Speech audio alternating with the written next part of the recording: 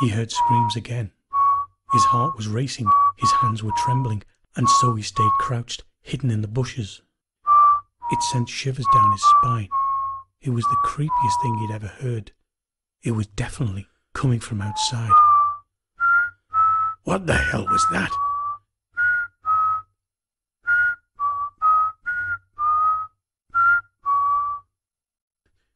He was too scared to turn around and look. He closed his eyes tight and stayed as still as he could in the bushes. You're sure of a big surprise,